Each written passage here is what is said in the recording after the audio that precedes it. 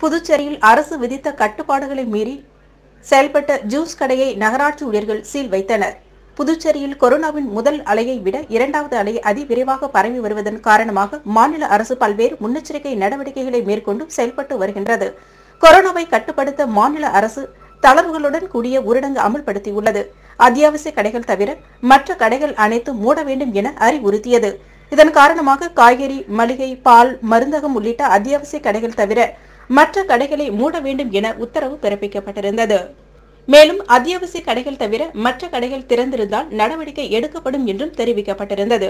இந்நிலையில் அரசு அறிவுறுத்தலை மீறி செயல்பட்ட கடைகளை மாநகராட்சி கண்காணிக்கும் பணியில் ஈடுபட்டு வருகின்றனர். இந்நிலையில் அரசு விதித்த கட்டுப்பாடுகளை மீறி செயல்பட்ட ஜூஸ் கடையை நகராட்சி ஊழியர்கள் சீல் வைத்தனர். இதனால் ஆத்திரமடைந்த கடை உரிமையாளர்கள் காவல்துறையினரிடம் வாக்குவாதத்தில் ஈடுபட்டனர். இதனால் கடையின் முன் கூட்டம் கூடியது. இவர்களை காவல்துறையினர் கலைந்து செல்ல அறிவுறுத்தினர். இதன் காரணமாக அங்கு சிறிது நேரம் பரபரப்பு ஏற்பட்டது. சாதாரண ஒரு ஏழைகிட்ட வந்து தான் அரசாங்கம் அவங்க வேலையை காட்டுவாங்களா?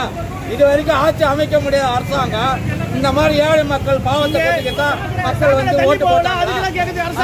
இது வரைக்கும் ஒரு வருமானத்துக்கு வழி காட்டுற சாப்பாட்டுக்கு வழி காட்டுற பத்து ரூபா மாசு கொடுக்க துப்பு கிடக்காத இந்த அரசாங்கத்துக்கு. எப்படி வந்து பத்து ரூபா ஜூஸ் விற்கிற கடையை தீர் வைக்க முடியும்? பொதுமக்கள் ஆதரவு கொடுக்க இருங்க. பத்து ரூபா ஜூஸ் கடைக்கு அரசாங்கம் ஆதரவு கொடுக்கறதுக்கு அரசாங்கமா? பொது பொதுமக்களுக்கு பாவத்தை கொட்டிக்கிட்டு அரசாங்கமா? இது வந்து பொதுமக்கள் எல்லாம் சேர்ந்து தீர்ப்பு கொடுக்கணும்.